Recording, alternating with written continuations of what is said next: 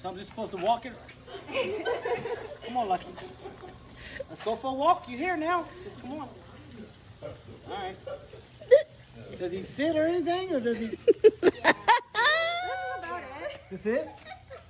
This is. He don't even do a trick or nothing.